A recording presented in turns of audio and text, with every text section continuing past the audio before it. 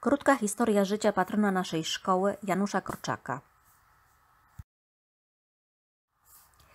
Nie wolno zostawiać świata takim, jakim jest. Janusz Korczak.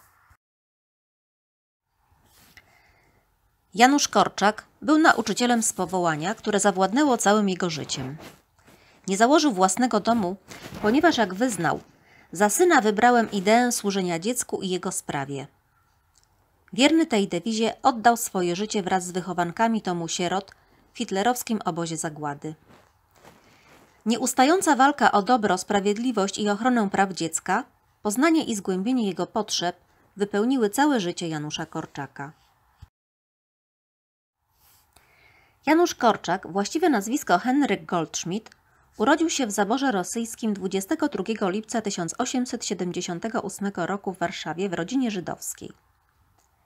Ósmym roku życia rozpoczął naukę w szkole początkowej Augustyna Szmurły. W 1890 roku dostał się do ośmioklasowego gimnazjum męskiego w Warszawie. W 1898 roku rozpoczął studia na Wydziale Lekarskim.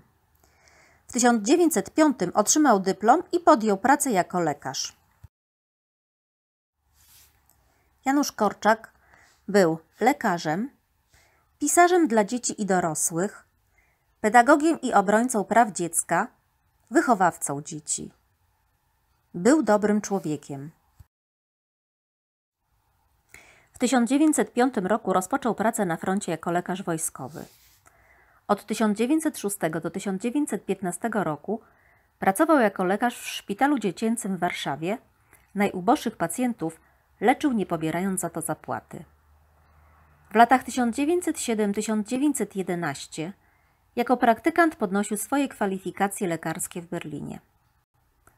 Od 1914 do 1918 roku był młodszym ordynatorem na ukraińskim froncie.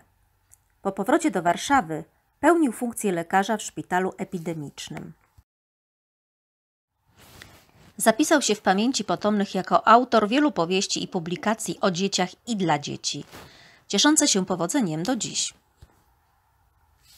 Zapisał się w pamięci potomnych jako autor wielu powieści i publikacji o dzieciach i dla dzieci, cieszących się powodzeniem do dziś. Najpopularniejsze książki dla dzieci autorstwa Janusza Korczaka.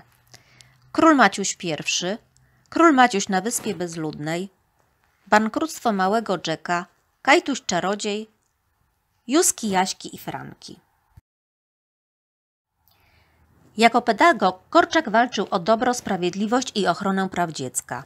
Spośród wielu praw, o których pisał i o które walczył, za najważniejsze uważał prawo dziecka do szacunku, wiedzy, upadku, do własności, do tajemnicy, do radości, do dnia dzisiejszego, do popełniania błędów, do własnego zdania. Korczakowskie prawa dziecka są aktualne do dzisiaj. A oto niektóre myśli Janusza Korczaka. Mów dziecku, że jest dobre, że może, że potrafi.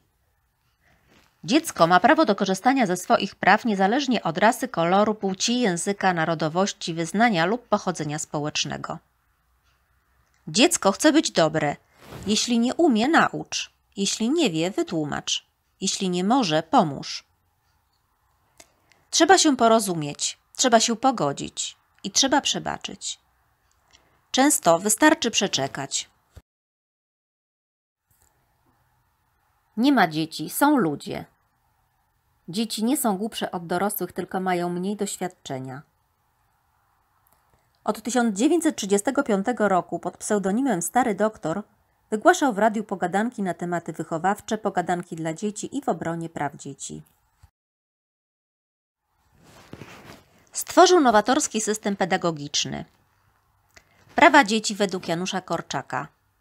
Prawo do radości, do wyrażania swoich uczuć, do szacunku, prawo do nauki poprzez zabawę, prawo do niepowodzeń i łez, do własności, prawo do bycia sobą, do niewiedzy, do upadków, prawo do tajemnicy.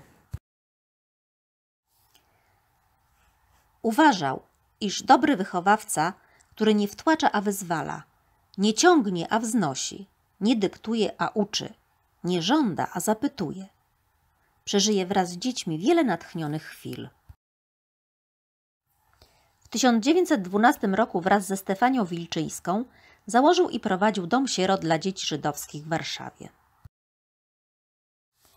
Dom sierot, w którym Janusz Korczak mieszkał, był dla niego domem pracy i szkołą życia. W sierpniu 1942 roku wszyscy wychowankowie i wychowawcy domu sierot zostali wyprowadzeni z getta i wywiezieni do obozu zagłady. Janusz Korczak, choć mógł uniknąć śmierci, zdecydował się towarzyszyć swoim wychowankom w ich ostatniej drodze. Zginął wraz z nimi w komorze gazowej w obozie zagłady w Treblince. Na terenie symbolicznego cmentarza w Treblince, wśród 17 tysięcy kamieni upamiętniających śmierć zamordowanych tam więźniów, znajduje się pomnik imienny Janusza Korczaka i jego dzieci. Kiedy się śmieje dziecko, śmieje się cały świat. Bardzo kochał dzieci, co udowodnił ginąc wraz z nimi. Do końca swojego życia walczył o dobro, sprawiedliwość i ochronę praw dziecka.